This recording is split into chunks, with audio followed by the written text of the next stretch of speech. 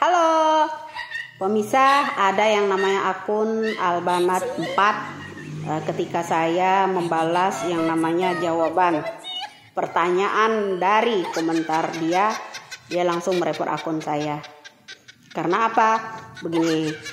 Tentang jawaban tersebut, pada saya pada saat saya beberkan, apakah yang namanya korupsi Joni dari Nasdem mengenai menara yang sebesar 8 triliun rupiah itu ada kaitannya enggak dengan mantan gubernur DKI pada saat pembuatan landasan helipad di atas pulau reklamasi. Ya, bagi KPK atau tim khusus independen Bapak Jokowi, tolong cermati kembali omongan saya ini. Biasanya terbongkar sih Makanya mereka takut kenapa saya muncul di permukaan. Iya enggak?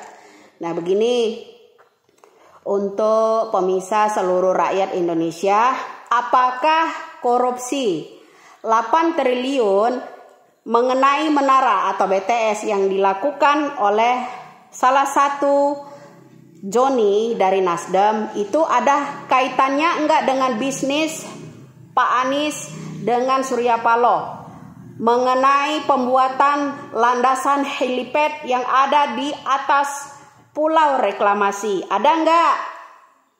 Monggo disimak kembali. Ada enggak kira-kira pertanyaan saya untuk uh, kedua orang ini uh, mengenai menara korupsinya sebesar 8 triliun rupiah itu ada enggak kaitannya sebelumnya dengan mantan gubernur DKI ya mantan gubernur DKI pembuatan landasan helipad atau helikopter yang ada di pulau reklamasi belum lama ini yaitu uh, pesawat jet yang pernah dipakai untuk kampanye ya kalau nggak salah.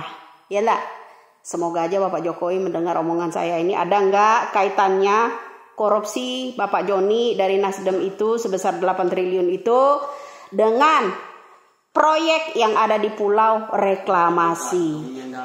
Itu aja sih. Kenapa sih mesti takut kalau saya bongkar-bongkar ini? Biasanya kenyataan kan. Saya dari dulu kan meminta presiden mem memecat mengganti yang namanya menteri Kemenpo.